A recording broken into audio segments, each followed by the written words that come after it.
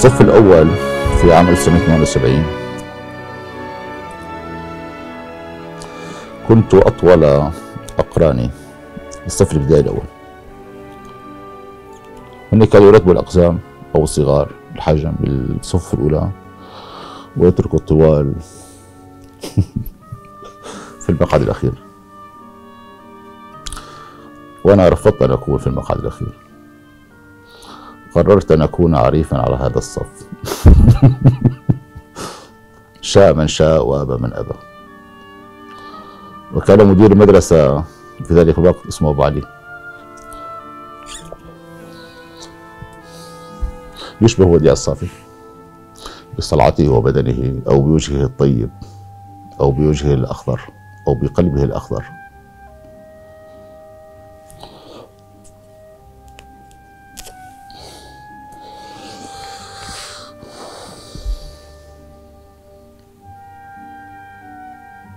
حتى منظومة التعليم من الصف الأول أنا رافضها ورافض أن أكون يعني أتعلم يعني لغة أو الإملاء أو الحساب. وهذا لاحقني الفشل. ما أعتبره فشل بس يعني مسألة التعليم. يعني بشعر أنه دماغي أنا يعني أكبر من أي منظومة تلقينية إن كان جامعة أو تعليم. تعلمني. لأنه أعتبرها أدوات تلقينية العلاقة بالدجاج يعني.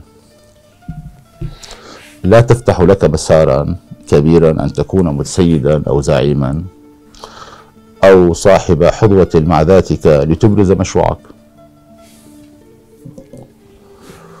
وأنا ما كان عندي اهتمام بالرسم حتى بسنوات الطفولة يعني. كنت أحب كرة القدم. وتذكر في ذلك الوقت لا ثمة تلفزيون. يعني بالحي كله كان في تلفزيون واحد عند شخص أتى من السعودية أتصور ورأيت أول مشهد في مباريات كأس العالم 78 أيام كيمبس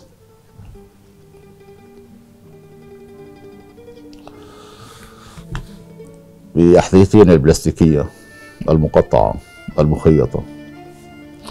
أو باللا أحذية.